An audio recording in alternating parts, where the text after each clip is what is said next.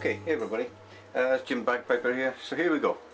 This is going to be my model for the uh, the sci-fi SIG, Star Trek Romulan Warbird. As you can see, all still in the box, okay? So, let's do a quick opening of this.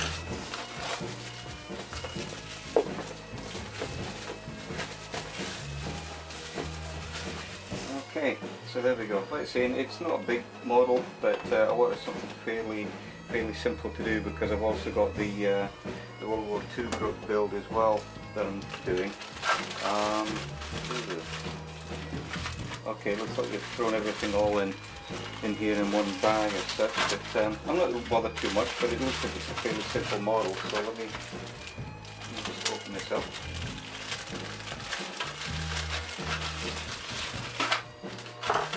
Okay. Alright. Yeah, it doesn't look like there's going to be very much of this at all to actually build to be honest, but uh, again it nice and simple, something that I could paint, so there's that part there.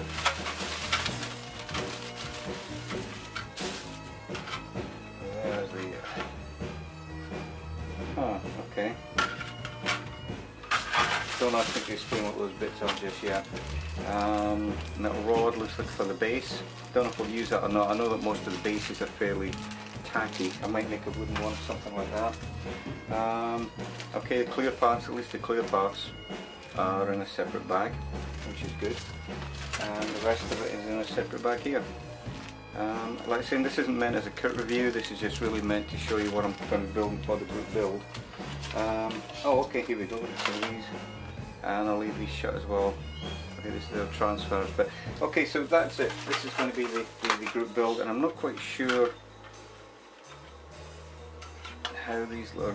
I'm not quite sure where these parts are. It looks a little bit unusual. It looks like we've got two of each, but um, yeah, okay, I'm a little confused with, with it here at the moment, but no big deal. Uh, but that's it. This is going to be the sci-fi group build. Okay, take care everybody.